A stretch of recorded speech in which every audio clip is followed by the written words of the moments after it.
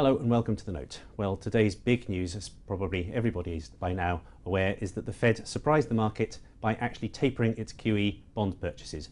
But it drew the sting from that by offering some extremely positive forward guidance with the result that most stock markets were actually up on the news.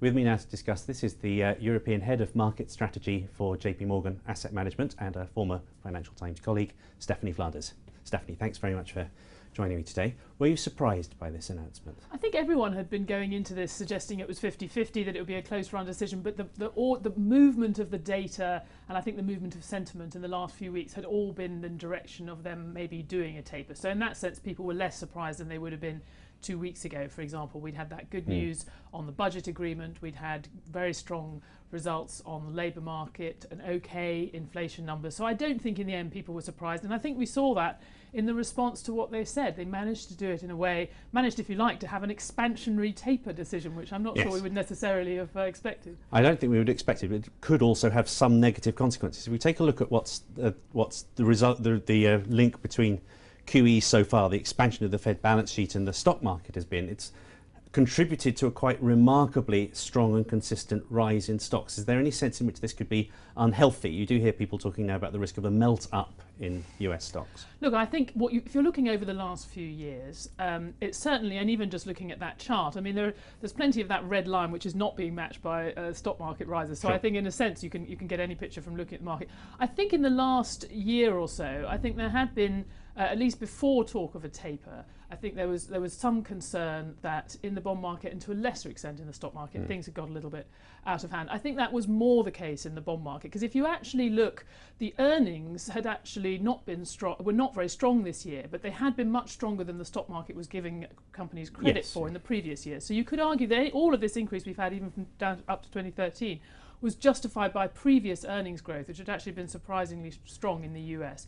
But having said mm. all that, mm-hmm. uh, I think one of the things that does make me a bit nervous about going into the next year, I don't think that we're looking at uh, necessarily a massive bubble that needs to be pricked. But if we saw that kind of steady rise, that kind of comfortable rise continue at that kind of level for another year, I think I would start to get a bit nervous about where the valuations could go next. Okay, so bubble talk might be a little premature, but I, some I concern about premature. this. Now let's take a look at the bond market, which is obviously obviously the market that's most directly impacted by QE. One of the great concerns people have had is that uh, once the market starts to move, it could shoot up and uh, the Fed could lose control of the situation. Does that seem like a reasonable risk now? You know, getting on for six months after after I think there's a couple of things about that. I mean, what you can see on this chart is quite how, how far we've already moved in that taper mm. tantrum, as people like to talk about it. And I think, at least from where we are now, I think history would, if we continue on this kind of path, I think history might look back and say, actually, that the Fed had managed this normalization mm. process or the early stages of normalizing the cost of money. You can see we're still a long way off yeah. historical rates. Have managed that extraordinarily well. I mean, at the time, all of that discussion about taper seemed to be causing a lot of uncertainty, but we've already seen the stock market market didn't really have any problem with it long term. And if you look at what happened in the bond market, I think that many people, when they talked about the speculative excesses mm. that might have been being driven by quantitative easing, it's this they were talking about the fact that we'd had that further lurch down yes. in bond yields at a time when there was no reason in the fundamentals you could see for that to happen. So the fact that we then had this correction, I don't think it's an accident that that is when Ben Bernanke started talking about a taper. And I think now, if we are on a steadier trajectory to higher rates, I think uh, what we're seeing today is that stock market investors recognise that that's, if you like, rising rates in response to good news, not in response to bad news, and you react differently right. in that case. Let's finally just ask about that trajectory, though, for the for the mm. future. Mm. We are tapering off the support, but we're also promising the market that overnight rates are going to stay at zero until, well, well after the end of next year. Where do you think bond yields are going over the next year? Well, I think, I mean, it is, I think, crucial to the sustainability of this exercise that they've got that guidance. And I think we do have to hope that the forward guidance remains credible. As long as it is credible, I think you're, by anchoring the short end, you mm. are actually limiting the potential upside. And of course, that's why the Fed is doing it.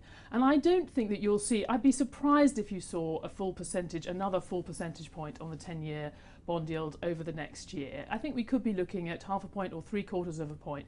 But if the economy continues to grow as the Fed is expecting, and we see the kind of improvement in the labour market expecting, given that that would not be any more than we saw last year, I don't see why that would cause a major problem to the stock market or be a major problem for the economy. Remember, we know this Fed is very dovish. If it did look like it was causing big problems, it'll probably be changing course. Okay, Stephanie, thank you very much indeed.